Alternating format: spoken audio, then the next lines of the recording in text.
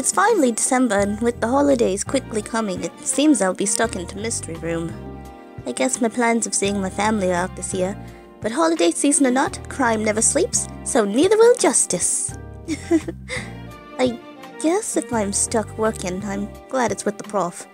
Though he seems he's been extra antsy, if that's even a thing he can be. I want to ask what's up, but I'm sure he'll just push it off snout.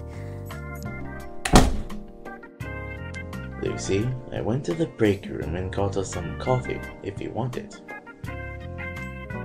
Oh, really? Thanks, Prof. Be right there. Well, I hope you keep safe during this holiday season. I'll be here if you ever want to talk.